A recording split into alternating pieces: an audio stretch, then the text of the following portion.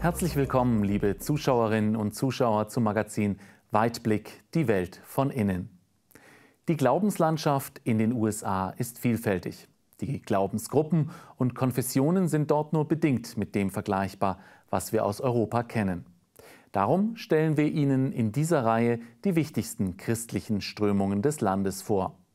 Heute geht es um die klassischen Protestanten und die sogenannten Historical Black Churches. Als Experte im Studio ist dazu Prof. Dr. Michael Hochgeschwender von der Ludwig-Maximilians-Universität München. Schön, dass Sie da sind. Grüß Gott, Herr Stittnofer. Herr Hochgeschwender, wenn man an die Glaubensgeschichte der USA denkt, dann fallen einem zuallererst die sogenannten Pilgerväter ein. Berufen sich die evangelischen Kirchen der USA heute noch auf diese Pilgerväter? In einem weiteren Sinne ja, wenn es darum geht, über das protestantische Selbstverständnis der USA als christlicher Nation nachzudenken.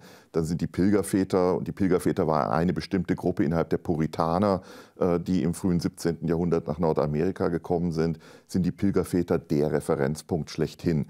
Äh, in einem gewissen Sinne in ein, und einem engeren Sinne auch als sozialer Bezugspunkt, denn wenn Sie sich heute noch auf die Pilgerväter zurückführen können, dann sind sie gewissermaßen das Gegenstück zum Adel in den USA. Es gibt noch ein paar Familien, äh, die immer noch sagen können, wir stammen von den Pilgervätern ab.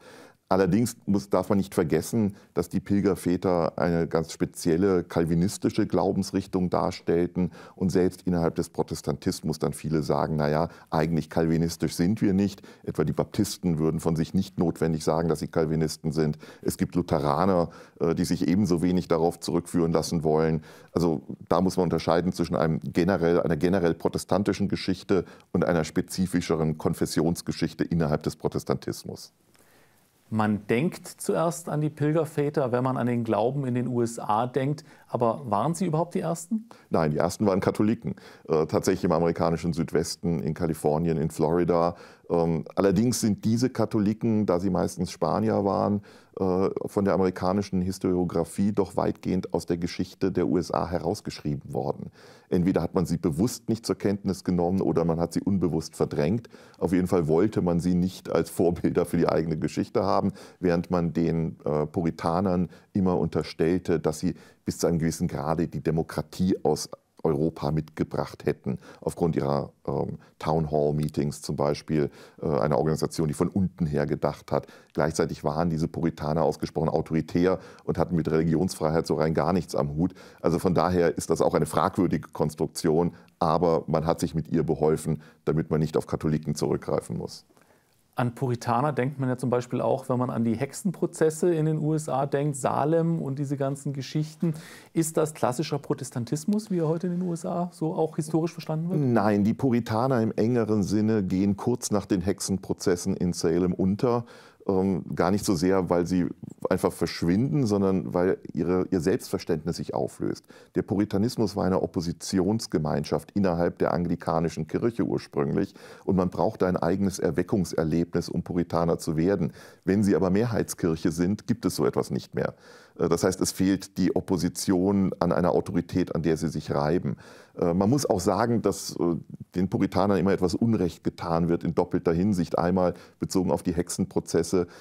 Viele Puritaner haben diese Hexenprozesse abgelehnt. Also Salem war die Ausnahme und nicht die Regel in Nordamerika. Zum anderen ist unsere Vorstellung von Puritanern meistens mit Prüderie und sexueller Engherzigkeit verbunden. Das trifft nun eigentlich gar nicht zu. Die Aufklärer waren puritanisch in diesem Sinne, während die Puritaner nicht puritanisch waren. Welche Gruppen würden Sie denn jetzt als klassische Protestanten bezeichnen? Wir werden in dieser Serie ja auch noch über die Evangelikalen reden und da möchte ich ein bisschen abgrenzen. Ja, das ist insofern schwierig, weil niemand so genau weiß, was jetzt klassischer Mainstream-Protestantismus oder Mainline-Protestantismus, wie man auch sagt, ist und was Evangelikalismus ist. Beides sind Fremdzuschreibungen. Äh, es wird kaum eine Kirche sagen, na, manche würden sagen, wir sind Mainstream, aber es wird kaum eine Kirche sagen, wir sind jetzt evangelikal, äh, sondern die Bezeichnungen sind meistens andere. Ähm, trotzdem, wenn man sich die Kirchen ansieht und die Religionsgemeinschaften, dann würde ich sagen, dass zu den klassischen Mainstream-Religionsgemeinschaften im Protestantismus die Nordstaaten-Methodisten, die Nordstaaten-Baptisten, die Nordstaaten-Presbyterianer zählen, aber auch die Episkopalkirche, insoweit man sie als protestantisch bezeichnen kann. Das ist in den USA etwas schwierig. Die Lutheraner gehören mit dazu, wobei es bei den Lutheranern auch fließende Übergänge in das evangelikale Lager gibt. Äh, diese Übergänge sind noch fließender zwischen beiden Gruppen im Südstaatenbaptismus, Südstaatenmethodismus und bei den Südstaaten-Presbyterianern. Das ist ja eines der interessanten Dinge in den USA, dass diese Kirchengemeinschaften immer noch wegen des Bürgerkrieges getrennt sind äh, und dann auch unterschiedliche theologische Schwerpunkte haben. Auch die Disciples of Christ ähm, gehören im weiteren Sinne mehrheitlich eher zu den äh, Mainstream-Denominationen dazu. Theologen wird das jetzt wahrscheinlich sehr viel gesagt haben, was Sie da gerade dargestellt haben. Wie kann man das denn vielleicht kulturell festmachen für alle anderen? Was sind denn so die protestantischen Prägungen klassischer Natur in den USA? Also an sich sehr ähnliche wie in Europa. Man muss allerdings sagen, mit äh, zwei Unterschieden. Einmal, der kalvinistische Einfluss ist in den USA erheblich größer als etwa in der deutschen Tradition. In Deutschland haben sie vor allem den Pfälzer Calvinismus, sie haben im brandenburgischen kalvinistische Tradition, im kurhessischen kalvinistische Tradition. Aber ansonsten war der deutsche Protestantismus immer stark lutherisch. Das Luthertum in den USA hingegen ist, wenn Sie es kulturell fassen, vor allem deutsch und skandinavisch geprägt. Da, wo deutsche und skandinavische Lutheraner leben, ist das Luthertum stark. Da, wo sie nicht sind, gibt es praktisch kein Luthertum. Äh, dann haben Sie eben die anglikanische Tradition in der Episkopalkirche. Die Anglikaner oder Episkopalen in den USA sind traditionell eine Oberklassenkirche, wenn Sie so wollen, die Country Club Kirche. Äh, da sind die ganz Reichen. Sie finden ganz selten nur Episkopalkirchen in Slums. Es sei denn, die ist zufällig da stehen geblieben, als der Slum dort angefangen hat. Äh, denn meistens äh, gehen äh, eher reiche Republikaner äh, in die äh, Episkopalkirche. Ähm, dann haben sie die Presbyterianer und Kongregationalisten. Das sind eben die klassischen kalvinistischen äh, Kirchengemeinschaften. Die Presbyterianer etwas intensiver organisiert, während die Kongregationalisten dieses sehr amerikanische Prinzip haben, jede Gemeinde steht für sich. Das haben die Baptisten auch, wobei die Baptisten aus der radikalen Reformation kommen. Äh, man sagt das heute nicht mehr, aber früher hieß das mal die Wiedertäuferbewegung. Das heißt diejenigen, die äh, die Kindertaufe abgelehnt haben. Also sie haben im Grunde alles, was sie in der Reformation in Europa hatten, in den USA auch, mit anderen Schwerpunkten. Eben das Luthertum vergleichsweise sekundär, jetzt bezogen auf Deutschland, Calvinismus und radikale Reformation etwas stärker.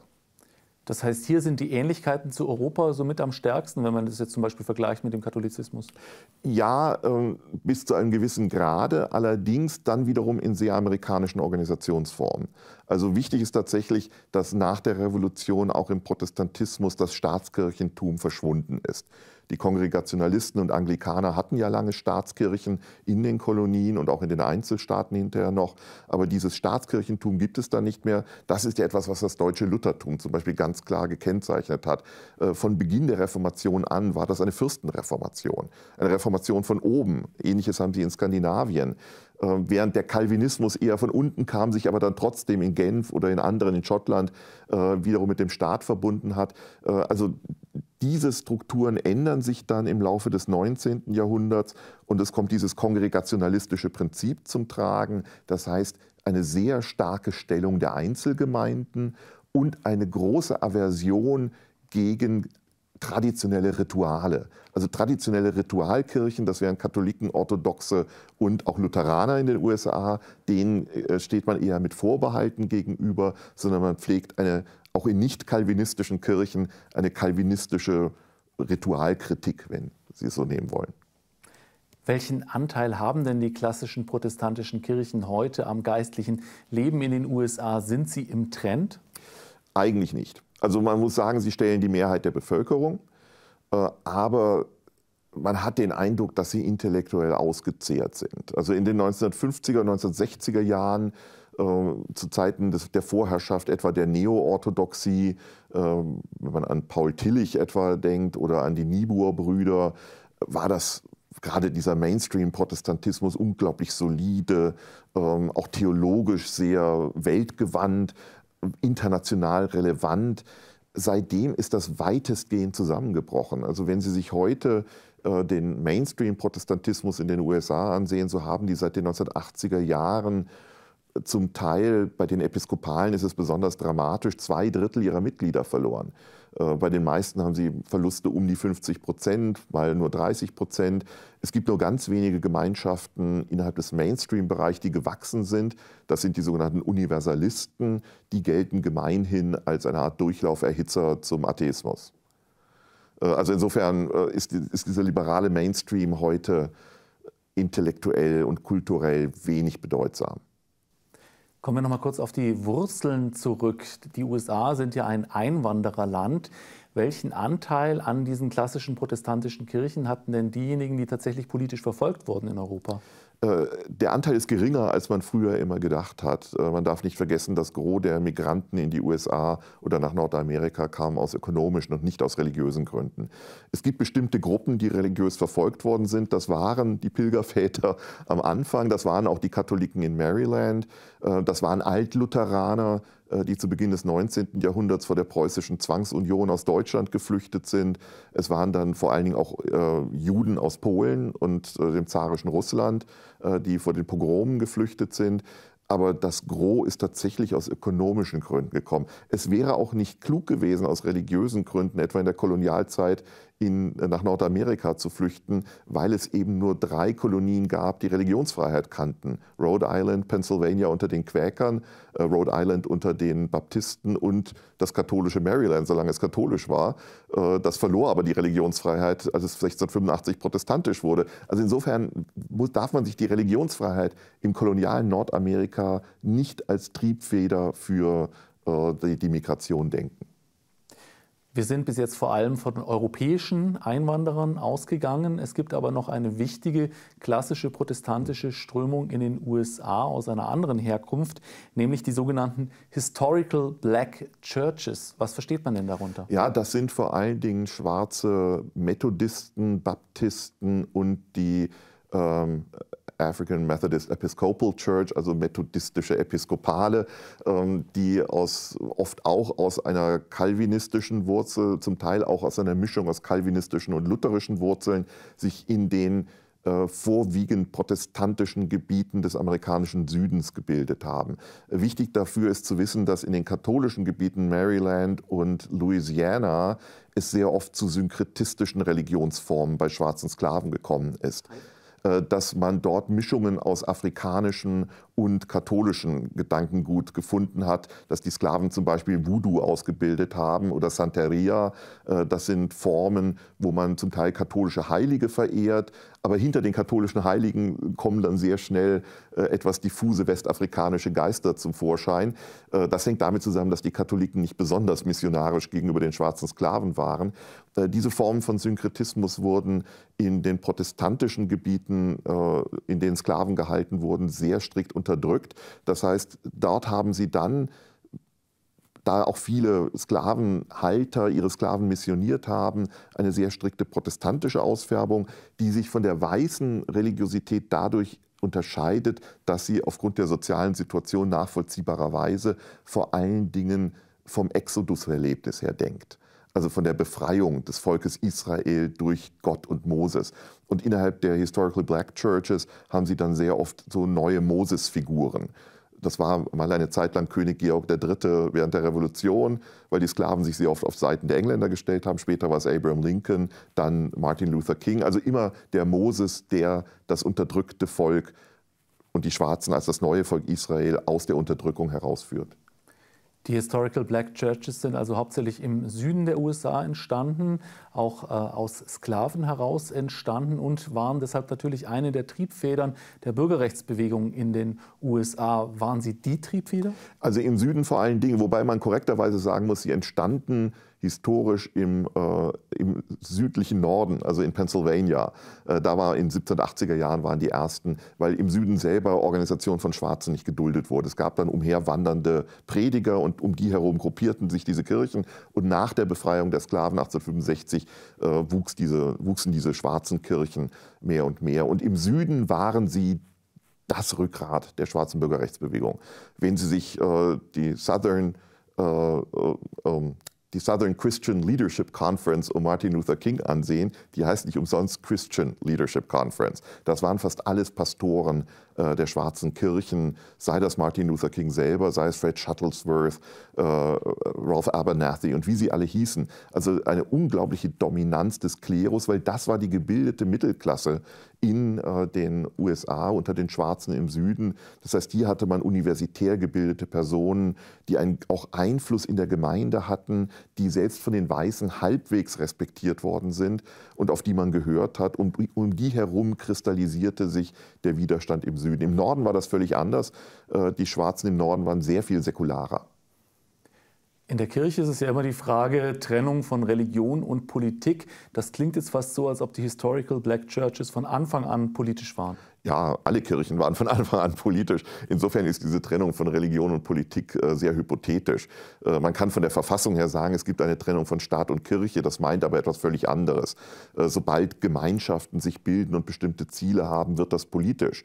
Und gerade jetzt bei den schwarzen Kirchen war das immer enorm politisch, auch wenn die selber immer gesagt haben, wir sind unpolitisch und es auch zum Teil ernst gemeint haben. Aber in dem Moment, wo man sich im Süden gegen die Rassensegregation, also die Trennung der beiden Rassen ausgesprochen hat, wo man verfolgten Schwarzen geholfen hat, wo man gegen das rituelle Lynching, äh, die Ermordung von Schwarzen vorgegangen ist, ist man automatisch politisch geworden. Und jemand wie Martin Luther King hat das natürlich sehr schnell erkannt und daraus dann auch politisch und religiös Kapital geschlagen. Welchen Einfluss hatten denn die afroamerikanischen Christen auf die US-Gesellschaft? Ja, sie hatten einen Einfluss vor allen Dingen in ihrer eigenen Community, in ihrer eigenen Gemeinschaft.